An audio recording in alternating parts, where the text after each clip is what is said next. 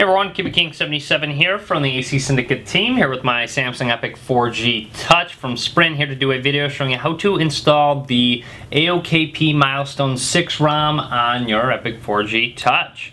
Uh, very excited to install this ROM, but let's go ahead and get into it. First of all, you're going to need to make sure you have a custom recovery installed on your device, specifically a safe custom recovery. Um, if you have followed my video on how to install Clockwork Mod on FF18, then you should be good to go. You can use that recovery, which is what I'm going to use.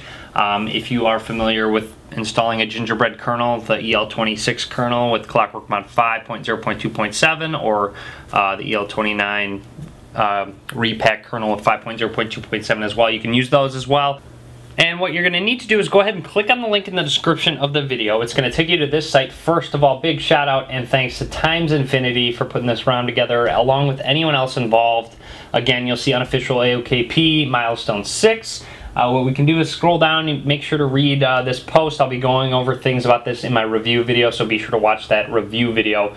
Anyways, go ahead and scroll down. Scroll down, you will see downloads right here uh, go ahead and it says get the latest build here. Click on that, um, and then you will click on this ROM zip. This would be the ROM itself.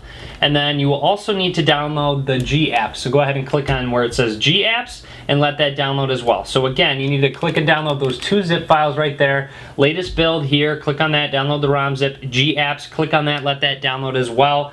Transfer both of those zip files over to your device, whether it be internal or external storage. Just transfer on over. Once those zip files are on your device, you can go back to your phone. But uh, again, just make sure you you are on a safe uh, recovery and you are safe to install ROMs with it. But anyways, let's go ahead and get into it. Uh, again, you got to power off your device because we're going to need to get into whatever custom recovery you are in. Alright, once your device is powered off to get into our custom recovery, you're going to want to press and hold volume up and power button at the same time. Press and hold until the Samsung screen lights up.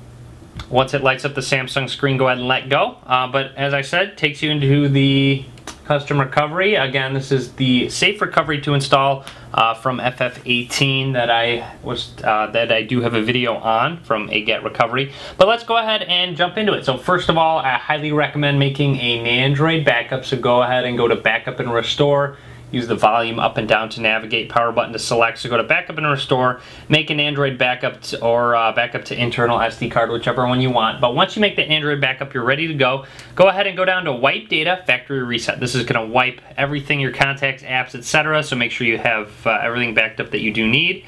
So go ahead and hit yes, delete all user data. Again, that's gonna go ahead and wipe your data. Take a bit of time, so uh, be patient with that.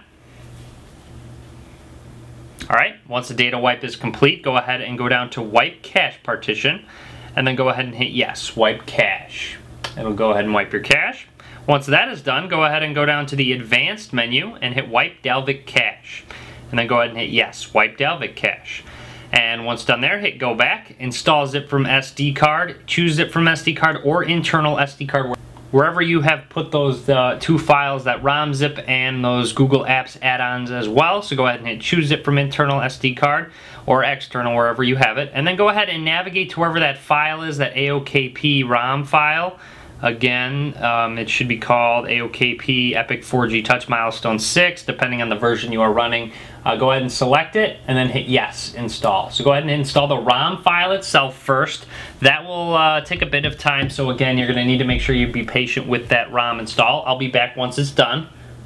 Alright, as you can see, install from SD card complete. The ROM is done installing, but we need to install the G Apps add-on, the Google Apps add-on. So go ahead and go back to choose zip from SD card, and then find those Google Apps add-on, the G Apps ICS. Uh, I believe it would be 2012-04-29 signed uh, zip and then go ahead and select that G Apps add-on and hit yes, install. It'll go ahead and install that Google Apps add-on. It will take a bit of time to install, not as long as uh, not as long as the ROM, but it will uh, take a little bit of time, so let that install. Alright, and install from SD card complete. Those Google apps are now done installing. Now just go ahead and hit go back and reboot menu and reboot system. And there we have it. So it's going to go ahead and reboot our Epic 4G Touch and once it boots up we will be running that AOKP Milestone 6 ROM on our Samsung Epic 4G Touch. So let it load on up. Um, you'll see got that nice AOKP boot animation. Uh, other than that though, I'm going to be doing a separate review video of this ROM, so definitely be sure to check that out. I'll link to it in the description of the video. Uh, be sure, if you have any questions, feel free to ask. Just leave a comment. Be sure to subscribe as well. Follow me on Facebook, Twitter, and Google+. All links will be in the description of the video below. And as always, thanks for watching. Be sure to give this video a thumbs up.